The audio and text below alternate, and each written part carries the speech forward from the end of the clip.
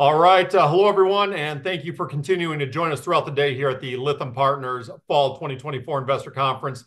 My name is Robert Blum, Managing Partner of Lytham Partners, and during this presentation, we welcome Global Crossing Airlines Group, or simply GlobalX, ticker symbol of JETMF on the OTCQB. And joining us today from the company is Ryan Goepel, the company's President and Chief Financial Officer.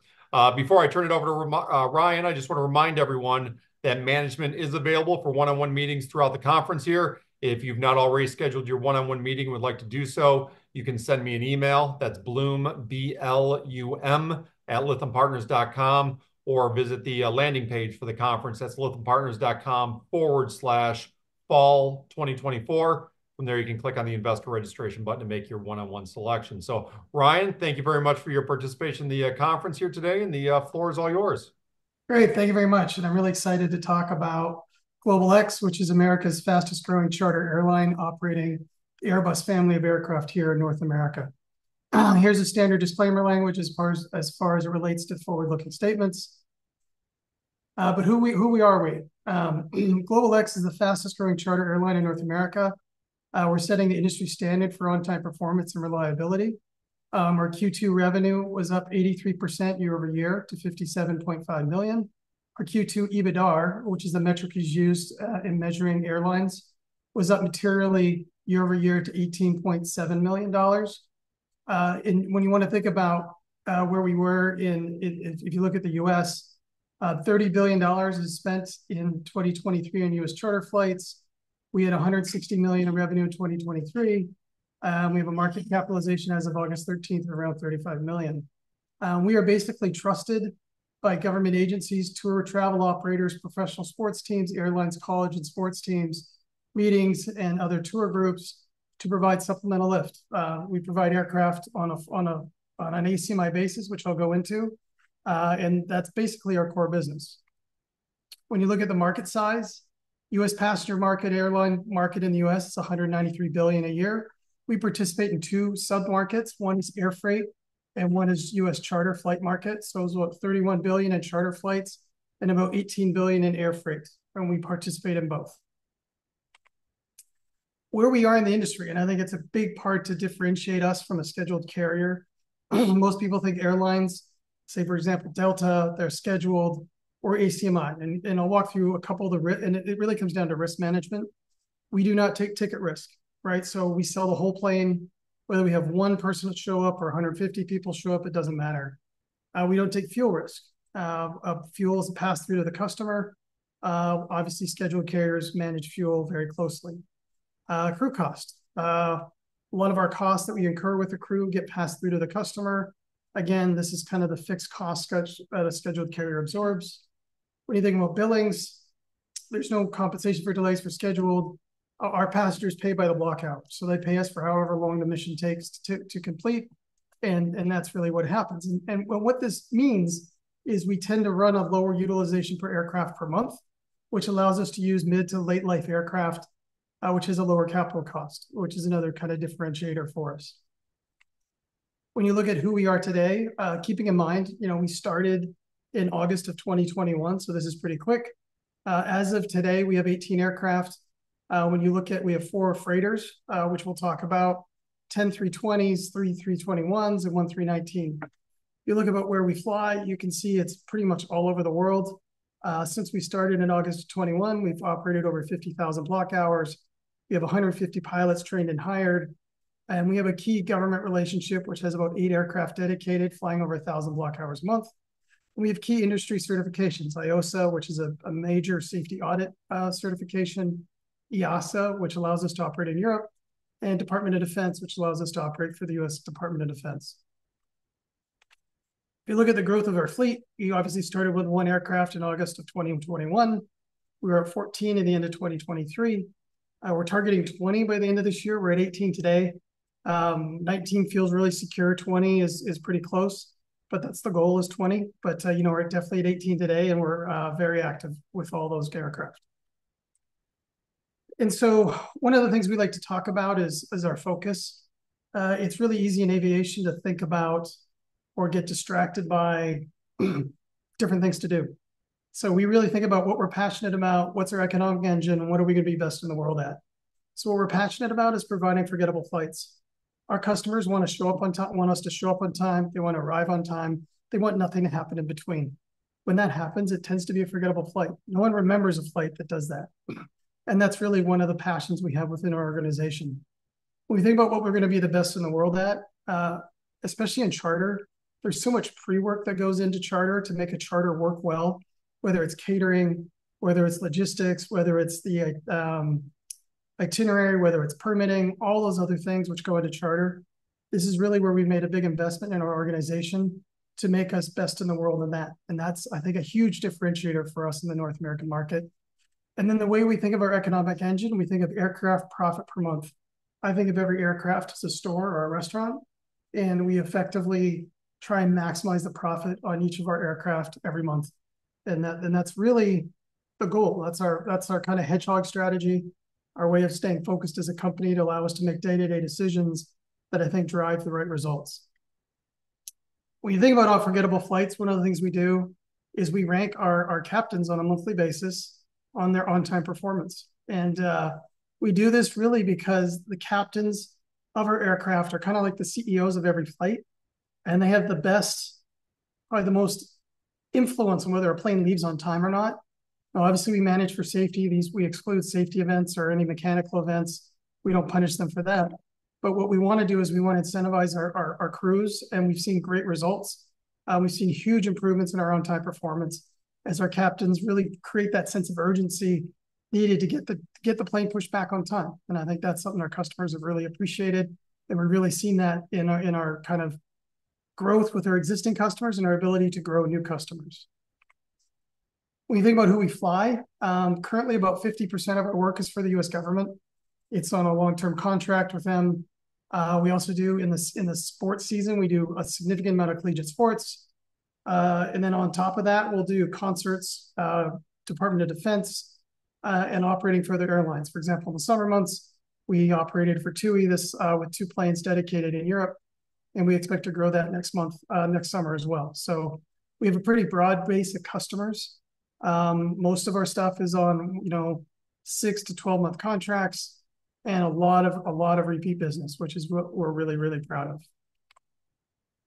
Going to the financials, um, continuous improvement. Q2 was a great quarter for us. 57.5 million in revenue, 18 million in EBITDA, operated 6,500 block hours. And a block hour is really uh, when you, it's really the blocks, you know, when you put on the plane, when you take the blocks off, that's the start. When you put the blocks back on, that's the stop. That's the clock. So we measure everything in block hours, uh, no different than a normal service company would, like a law firm. We bill on that on that side um, averaging 458 hours for the quarter for block hours per aircraft, 18 aircraft in the fleet, and cash and equivalents at the end of the quarter of 10.4. As you can see, everything we want to see in finance is up and to the right, and uh, especially in EBITDA.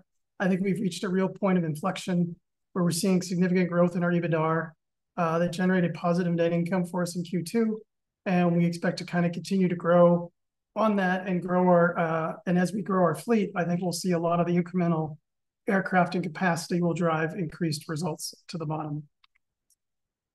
Material growth, obviously, you know, we've been around for three years, you know, going from 14 to 97 to 160 million. And EBITDA correspondingly went from four to five to 20. And, and to put that in perspective, in Q2, we did 18.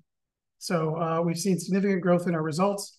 Uh, we think, you know, one of the struggles with the with the microcap space is differentiating yourselves through profit. I think is the right way to put it, and our ability, you know, I think to to stack on profitable quarters is going to be our a, a material change and a, and a real inflection point for the stock.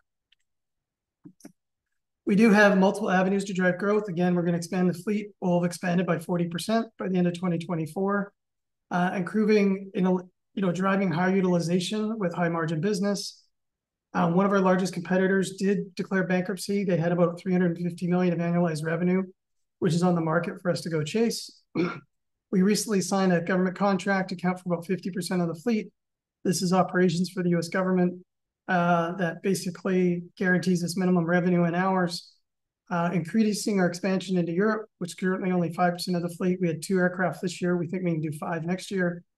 And then the new management team, we we had a change in management in the first quarter, and part of the mandate of the board was eliminating non-core and non-core initiatives, just focusing on our core kind of hedgehog business, which I talked about, which really is going to drive $8 million of cost avoidance in 2024. So investment highlights, uh, fastest growing charter airline in North America, strong financial profile and balance sheet provides runway for growth and transitions to cash flow positive. Uh, we're well positioned to significantly increase our market share with the expanded aircraft fleet. We expect that aircraft demand will outpace supply for the next four to five years, putting us in a fantastic position. And again, the new management team is committed to profitability. Um, that's our drive. Uh, you know, if you look at year-over-year, we went from in Q2, $500,000 of EBITDA to 18.7 million, which I think is a trend we're looking forward to continuing. And with that, I think that's the... I'll turn it back to you, Robert. Fantastic. Uh, thank you very much, Ryan, for that mm-hmm. presentation. Just, uh, maybe a couple of follow-up questions here because we have a few minutes left here, for sure. Excuse me. Since, you know, maybe taking, Um, you know, since your maybe appointment, we'll put it in, uh, as president in February 24.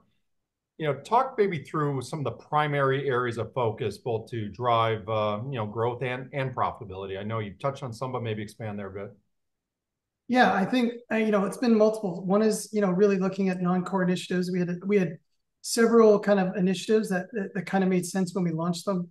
Um, but we realized our core profit was coming from charter and really eliminating a lot of those non-core product projects. So, um, that was an initial part, and I think another thing that's made a huge difference over the last six months is really upgrading the team. You know, we've made a really effort, a strong effort to recruit strong, operational, professional, experienced people. You know, you're operating 18 aircraft a day.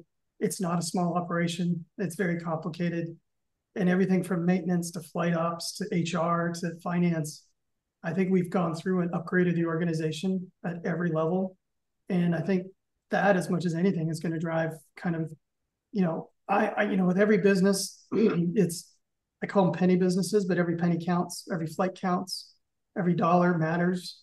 And and unless you have the professionals in your organization doing their jobs day to day, versus relying on a single person like me, I'm not Superman, and I can't do it. Um, I'm just so happy with the team I've got in place because they've done an amazing job.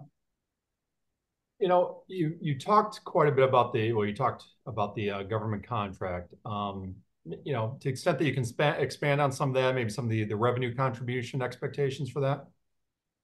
Yeah. So we have eight aircraft dedicated. It's part of the Department of Homeland Security uh, deportation program. Uh, so they are dedicated minimum revenue.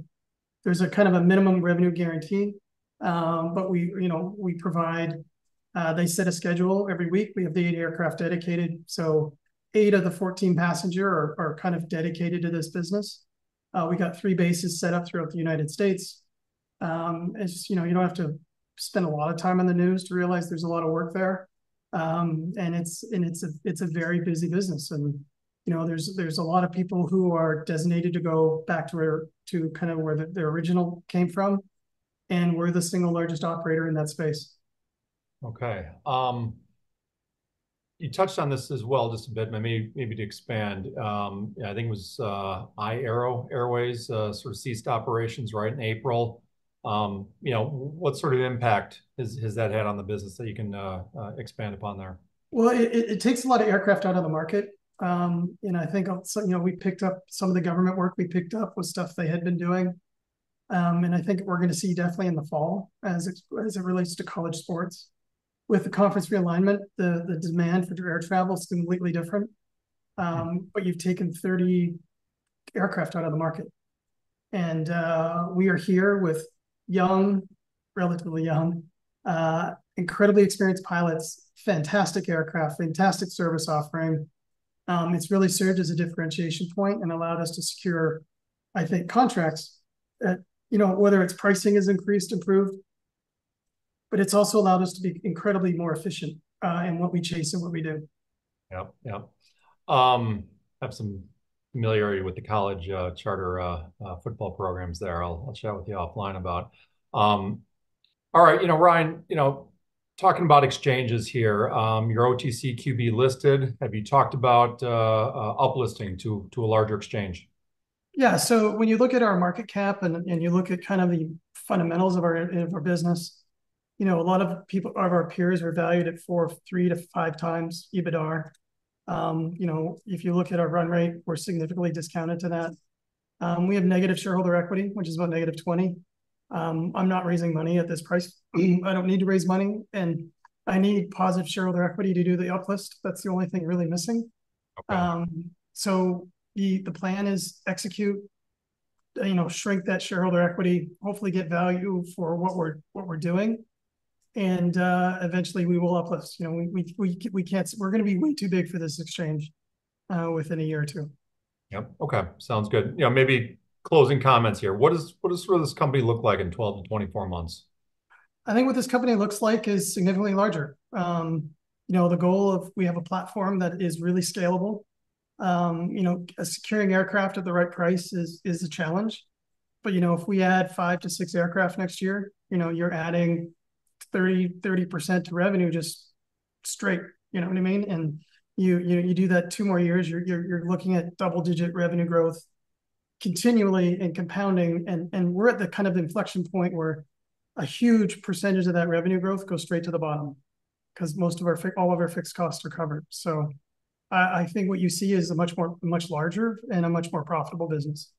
All right, fantastic. Well, look, thank you very much for uh, the participation uh, in the conference here. I know you have a sort of a busy schedule of one-on-ones, but uh, again, mm-hmm. anyone out there that uh, is not already scheduled their one-on-one and would like to do so, uh, shoot me an email, uh, Blum, B-L-U-M, at lythampartners.com, or again, visit the landing page for the uh, conference uh, website. That's uh, lythampartners.com forward slash fall 2024. Again, click on that investor registration button. I'll look to get you uh, taken care of. So, Ryan, once again, thank you so much for your participation today. No, Hope appreciate it. Thank you very much. Thank you.